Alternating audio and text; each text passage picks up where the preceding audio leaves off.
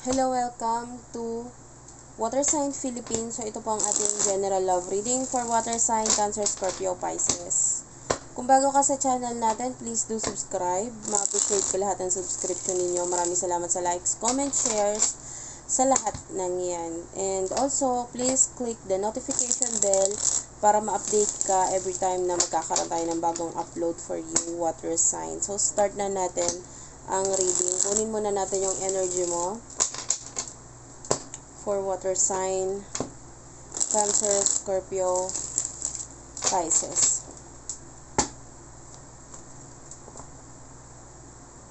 I don't know, meron ako nakikita ditong um, bracelet ng parang feng shui, yung tiger eye, ay no, not tiger eye, evil eye.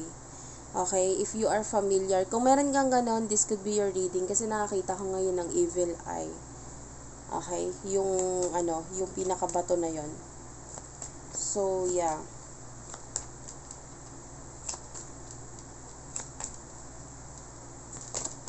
Kunin natin yung energy mo. We do have your Eight of Swords, Gemini, Libra, Aquarius. The Sun is here. One more card for water sign.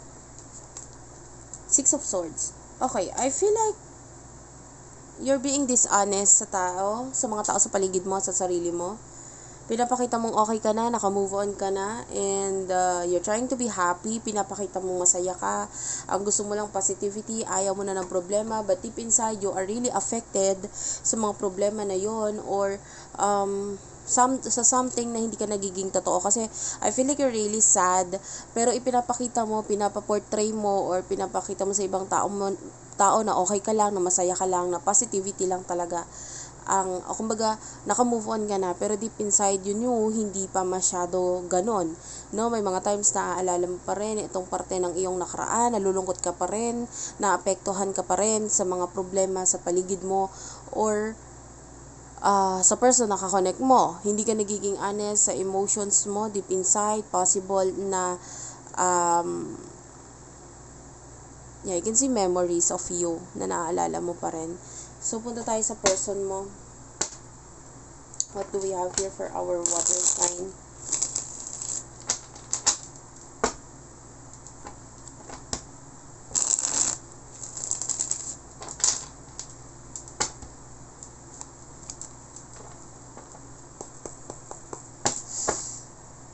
May nakikita ko dito, if you're this person na nakaupo ka sa dining area, dining table, And may mga kasama ka dyan. This could be your reading.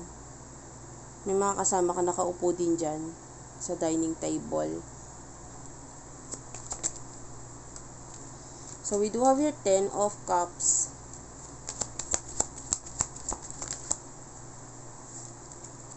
Six of cups. Eight of Pentacles and Page of Swords. Gemini, Libra, Aquarius, Taurus, Virgo, Capricorn, Cancer, Scorpio, Pisces, Energy. Okay. Etong person na ito, might be may another person na involved sa situation, third party situation. And, maaaring sa ngayon, hindi ikaw yung pinili niya, no? Or possible na nandun siya ngayon sa other person. But deep inside, there's, there's this friendship or something unique about you, yung pinagsamahan ninyo, friendship na nabuo ninyo ng person na ito. Uh, with the Ten of Cups, this person loves you. May mga times pa nga na lumalabas ka sa dreams niya and possible na lumalabas din naman siya sa dreams mo na maaring itinatanggi mo nga, no? But uh, with the Eight of Pentacles, yung focus ng person mo is yung development niya. Kung sino yung mga tao sa paligid niya. Pwede magkapalit-palit ang roles, guys. Pwedeng ikaw itong nasa left and then yung sa right yung person mo. And uh, this person na nasa left nakikita, kasi yung iba sa inyo nakukuha ko yung energy mo nandito sa kaliwa eh. So, ayun na nga, no? I feel like this person nagfo-focus sa uh, sa movement niya sa buhay niya. Especially, may mga inaaral dito, may mga improvement, talents, or pwedeng nag-aaral, pag-aaral, para mas magkaroon ng development or growth sa sarili. So, yun yung focus nitong nakita nating energy dito. But anyway,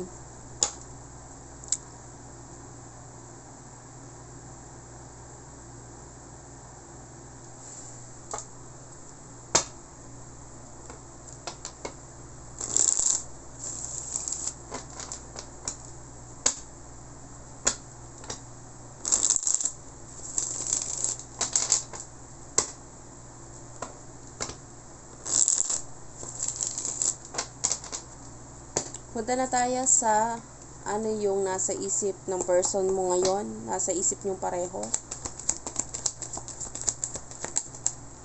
Okay, for your person, we do have here Four of Pentacles, Six of Wands, and Two of Pentacles, Taurus, Virgo, Capricorn, Aries, Leo, Sagittarius energy. Meron siya mga bagay na pinapriority ngayon eh. Nag-iipon siya ng money, finances.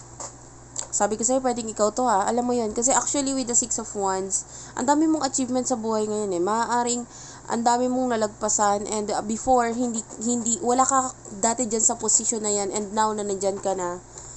Yeah, I can really feel like yung iba sa inyo, ito yung side mo nakukuha ko yung energy that this is your side. Although itong itong nandito ay kinukuha natin as your person side. Yung iba sa inyo na dito talaga yung side mo. Nakukuha ko na ito yung side ng ibang yeah. You get my point. Sana kayo na lang maglagay ng sarili niyo sa sitwasyon. So, sa side na to, nakikita natin na ang nasa isip ng person dito is yung achievements niya, yung mga na-achieve niya ngayon, So, mga maaring ito yung mga pinaghirapan, something na hindi niya akalain na maaabot niya. And um, focus nitong person dito is like money, finances, pag-iipon. And uh, sa ngayon, masyado niyang sinasarado yung kanyang sarili pagdating sa uh, pagiging open sa ibang tao. By the way, may naamoy akong amoy aso. Or if you are this person na hindi mo gusto yung lasa ng gamot na tinitake mo, this could be your reading And ayun nga no, um, masyadong sarado yung isip nito pagdating sa love, hindi muna sa ngayon. And kasi may mga bagay siyang gustong ma-achieve eh. More on money and finances, yun yung nakikita natin. So punta tayo sa right side. Ngayon, di muna ako magiging specific kung ikaw or yung person mo kasi nakakapalit-palit yung roles or yung energy na nakukuha ko. Could be dealing with a soulmate. Ang daming pagbabago na nangyayari dito sa buhay nitong taong to. And with the Seven of Swords and the Judgment, uh, I feel like nagkakaroon ng some kind of soul searching itong person dito sa right side. And with the Seven of Swords, may kinalaman kasi yun sa mga pinagdaanan niya ng mga nakaraan eh. Okay? Like, ng mga months na dumaan na ito, ang dami niyang mga pinagdaanan, mga pagbabago na pinagdaanan. Sobrang bigat actually and um ang daming mga person dito na parang nakikialam sa buhay niya na parang hindi naman siya hindi niya nagugustuhan yung mga taong ito, hindi siya nagiging masaya pero maaaring hindi niya ipinapakita, pinapakita niya lang okay siya but deep inside hindi siya okay, talagang affected siya doon sa mga sinasabi sa kanya ng mga tao sa paligid niya. And with the judgment, I feel like meron pa siyang mga bagay na hinahanap, sarili niya, ganun. So, um, this person, gusto niya ng changes. I feel like you're dealing with someone na wala kayong communication, no?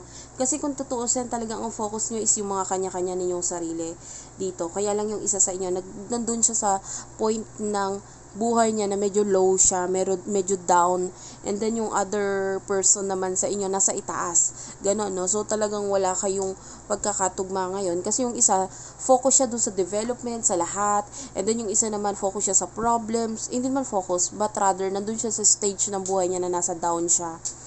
So, alin man yon sa inyo. Okay? So, emotions,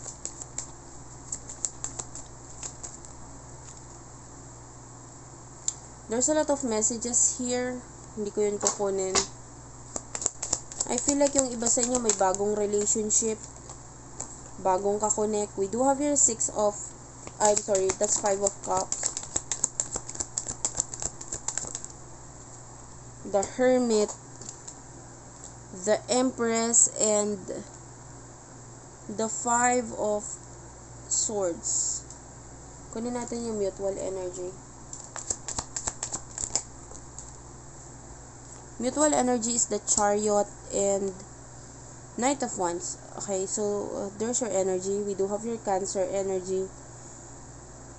Okay, uh, sa ngayon ang focus is like kung hindi travel, paglayo. Okay, una sa lahat,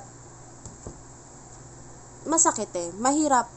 Pero mas gusto mo or ang choice ngayon is ang lumayo sa isa't isa, magtago sa isa't isa kasi nandun yung um, nagkakaroon ng pag-aalala or pag-iisip pa rin sa isa, isa't isa. The problem is, iniisip pero nilalayuan. Kasi with the five of cups, maaaring marami nang nasayang na oras na sandali, na paghihintay, na walang nangyari. And with the hermit, maaaring hindi pa open sa ngayon. This is like your energy na gusto mo muna mapag-isa or kung may kakonek kang iba, dun muna, no? Kasi maaaring dun ka muna, gusto mo maging masaya. Pero deep inside, nandun pa rin yung kalungkutan mo kasi maaaring um, maraming nasayang na sandali or uh, moment sa inyong dalawa na possible na hindi nangyari. And with the Empress, this is your person. I feel like naghahanap siya ng kalinga mo. Yung dating mga ginagawa mo na wala na ngayon.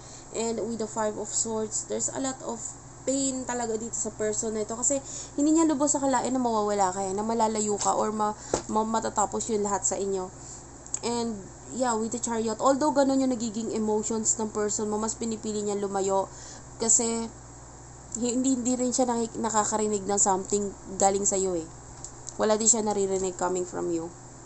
Or wala din, wala, kung maaaring, maaaring hindi ka rin naman gano'n nakikipag-communicate sa kanya. So, hindi ko nakikita na gumagawa siya ng movement para makipag-communicate sa iyo. Okay? Sabi ko nga, kanya-kanyang sarili ninyo ang pinagfo-focusan nyo ngayon itong person na ito. So, what will happen in the near future for the both of you? Okay, we do have here the Queen of Cups, the Eight of Cups, Four of Cups, the Death and Rebirth is here. Knight, I'm sorry, King of Pentacles, bottom of the deck. Lumabas din dito yung Strength card and the Five of Wands. Okay, so in the near future, I mean, I want to be honest with you. Hindi ko nakikita yung reconnection sa inyong dalawa. Kasi, with the Four of Cups, I feel like na-i-offer na yung reconnection na yon pero tinanggihan. Or hindi naging interesado. Okay?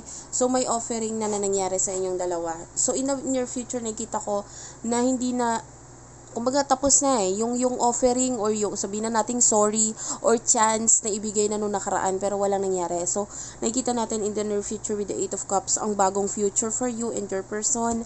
Nakikita natin with the Queen of Cups na maaaring this is you surrendering or parang um, pagdating sa kung ano na lang ibigay, okay, kung wala ka pang kakonek, kung sino na lang ibigay, ano na lang ibigay sa'yo, maaaring matuto ka na lang, matututo ka na lang doon makontento. And I feel like ayaw mo na kasing umiyak, ayaw mo nang masaktan, or rather, ayaw mo na makasakit, ayaw mo nang um, makasakit sa person na ito, so possible na ganun, alin man doon. And yung person mo with the death and, re- and rebirth, nandun yung, um, I feel like, natauhan na siya eh. And um, malaking marka sa nakaraan niya kung ano yung nangyari sa inyong dalawa. And with the Five of Wands, I feel like mahirapan or nahihirapan siya mag-reach out in the near future. So, lalo na kung may nakabantay na. I can see someone here nakabantay.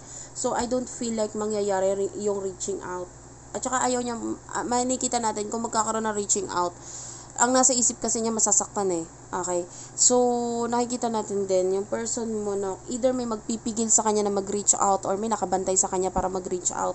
So, hindi ko nakikita na magre-reach out yung person mo in the near future. Okay? And, yeah, there's a new future na naghihintay sa iyo. New person ang nakikita natin pinagfo-focusan mo, pinagfo-focusan ng person mo. So, that's it for now. Thank you for watching. I love you all and bye-bye.